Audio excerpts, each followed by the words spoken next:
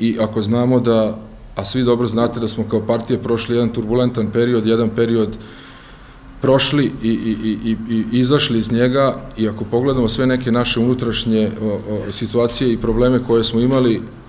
tim je naše zadovoljenje, iako su nam mnogi, da kažemo, stručnjaci ili i, ovaj, raznorazni analitičari predviđali, zlurado predviđali da ćemo nestati, da ćemo e,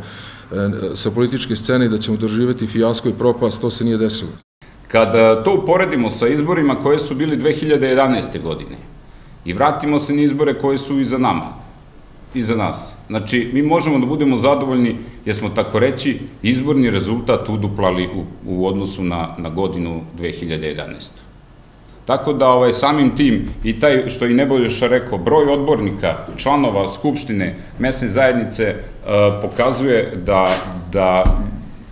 ljudi veruju i da veruju u socijalističku partiju